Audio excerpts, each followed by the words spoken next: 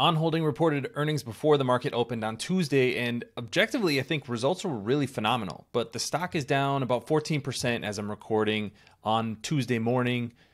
And it seems like the reaction is really just based on what the numbers were compared to analyst estimates. That's oftentimes what investors do is they go, okay, analysts were expecting this much revenue, this much in earnings per share. You miss those numbers, so the stock falls as a result.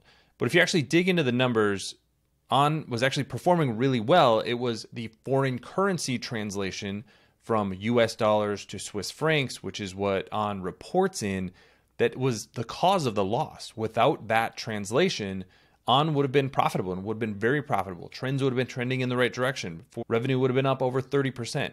So I'm going to dig through the numbers today and try to explain exactly what's going on from a foreign currency perspective because I think this is really important to understand given the fact that they do most of their business, 97% of their business is outside of Switzerland, but their financial reporting is in Swiss francs. So that means that there's going to be a lot of volatility related to those foreign currency changes, especially given the value change in the Swiss franc over the last six to 12 months, which I'll get to as well.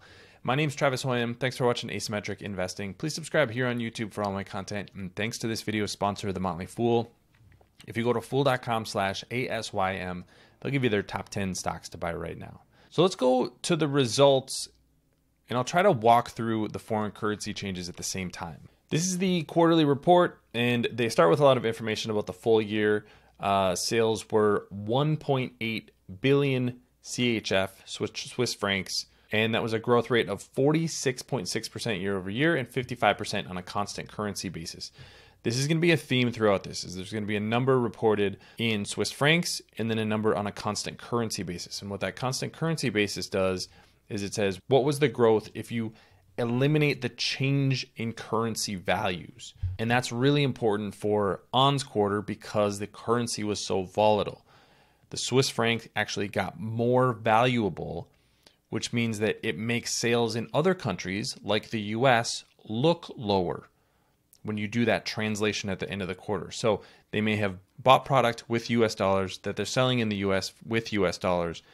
But then when you look through the lens of Swiss francs, it makes those sales look smaller and looks the, makes the profit look smaller. So that's the trend that's going on here. That's why the reported growth rate is going to be lower than the constant currency growth rate. Now, this could reverse and will likely reverse in the first quarter, which I'll get to as well. I want to focus on the fourth quarter highlights because that's really what investors are res- responding to. Uh, net sales increased 22% on a reported basis and on a constant currency basis increased 31%. This is, I think, kind of the first alarming number. When you look at this, you go, hey, I thought this company was growing 30, 40, 50% a year, but now we're only growing 20%. That seems like growth is decelerating. But again, you look at it on a constant currency basis and you get this 31% growth rate. So that's really strong. That's about in line with what management has expected over the next three years. Their long term guidance was in the high 20% range. And I'll get to why that's exactly what they're expecting in 2024 as well. They go through a lot of details. Uh, direct to consumer continues to be really strong, increased 38%. And that was in Swiss francs. So that is outperforming the rest of the market. So I think that's a that's generally a positive. And then they did have gross margins of over 60%. And that's what they were targeting long term is to have gross margins of around 60%. So you look at those numbers and you go, okay, things are going well if you look at this on a constant currency basis. But that's the income side of things. What I have discussed so far is basically above the operating results line. So net sales for the full year up 46.6%. For the quarter, which is on the right, 21.9%. Gross profit was up 26%. And operating income was up 180%. So, again, really strong results when you look at this without considering the changes that happened on the balance sheet. But this is where things get a little bit confusing. There is a $85.5 million loss as a result of foreign currency changes. This is not an operating loss. This does not mean that On was discounting products and losing money on things that they sold. This means that there was cash on the balance sheet, probably in the US, in US dollars, and as the Swiss franc got more valuable during the quarter, those dollars converted to fewer Swiss francs. And so then you have to take what's called a mark to market loss. So if you have $100 in a bank account in the US and that converts to 100 Swiss Swiss francs. And then the exchange rate changes from 1 to 1 to now for each US dollar, I only get 0.9 Swiss francs. The Swiss franc just got more valuable in relation to the dollar. Now instead of having 100 Swiss francs worth of value on the balance sheet because I have that U, those US dollars, now I only have 90 Swiss francs. So now I have to report a 10 Swiss franc loss despite the fact that I still have the same 100 US dollars in the bank in the US. So hopefully that kind of gives an idea of, of what's going on here. And I'll just pull up this chart because this shows exactly what is going on. Since October 2023, the Swiss franc conversion rate has gone from about 0.2 dropped all the way to 0.84. So more than a 10% change in the Swiss franc conversion rate to US dollars. So those US dollars that were sitting in the US, if we go down to the balance sheet here, 500 million Swiss francs or so of cash in equivalents, that cash is sitting in a bank account and if it's not in Swiss francs, which most of their money is not, then it is becoming less valuable on a reported basis, which is why you see this loss right here of 85 million Swiss francs on the income statement. But this is a non cash loss. If you just eliminate this number right here, you're going to get to the point where On's profitability increased dramatically year over year. Their net income would have increased dramatically, but that's not what happened because you have that loss related to foreign currency changes from assets on the balance sheet. The interesting thing, and management talked about this a little bit, is that some of those losses are going to reverse in the first quarter. You can see that the Swiss franc has gotten weaker compared to the US dollar since the end of 2023. So some of those losses will reverse as a result. This is a look at the full annual filing. And what management does here is they lay out what the change is going to be or the gain or loss is going to be depending on the change in the conversion between the US dollar specifically and Swiss francs. So a 10% increase in the US dollar. So this is what has happened in the first couple of months of 2024.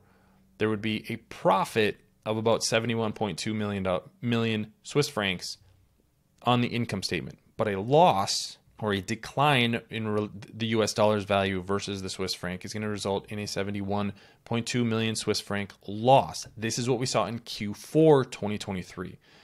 So, what's going to happen over time is that assets that are outside of Switzerland or that are not denominated in Swiss francs are going to be volatile based on the volatility of the Swiss franc itself. And that is going to really impact the value of what's on the balance sheet not the operations of the business, but it makes its way to the income statement through this line item right here that they call foreign exchange result. So that one number is the reason that on missed estimates for the quarter.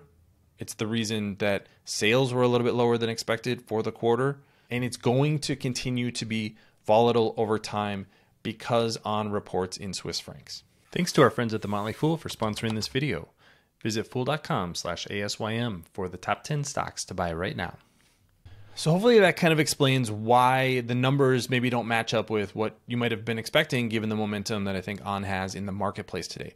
Operations, very strong, very good results. They actually reduced inventory. I didn't get into that. I didn't dig into the balance sheet too much in this video. But they actually reduced inventory so their turns are going faster. That's one of the risks with a high growing company that's making hardware is that you have to build inventory to ultimately sell it to customers. So they've done a phenomenal job managing that inventory and still growing the business. Eventually, and this is kind of one of the strange things with a business like this, as growth slows, profitability will increase.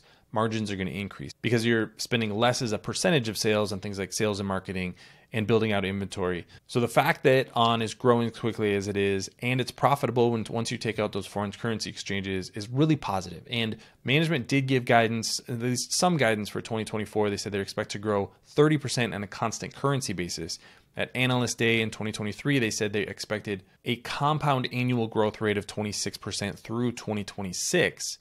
So, expecting to grow faster than that in 2024. But again, that is on a constant currency basis. So, given the tra- trajectory of the Swiss franc over just the last two and a half months since the end of 2023, it's likely that the reported growth rate for the first quarter of 2024 is going to be higher than 30% or higher than that long term growth rate because of the changes in foreign currency valuation. So it gets a little bit confusing looking at on holdings, but at the end of the day, the company is performing phenomenally well, growing around 30% a year. That's just that is about as good as we can expect for a company of this scale and this size. I think the market's reaction is honestly a little bit ridiculous, but not all that surprising given that this is a company that doesn't get a ton of coverage. And so a lot of investors are just looking at what were analysts expecting? Did they beat or miss that? And that's why you get the reaction you do today. But don't be surprised if shares recover a lot of that over the next few days and weeks. This is one of the reasons that I'm a long term investor because I look at a drop like this in the stock today and I see this as a buying opportunity because the market doesn't fully understand and appreciate how this company operates and what was really reported today. If you have any thoughts or questions, leave those in the comments section below. I'm happy to try to answer those if I can. Don't forget to subscribe to Asymmetric Investing. Thanks for watching, everybody. See you next time.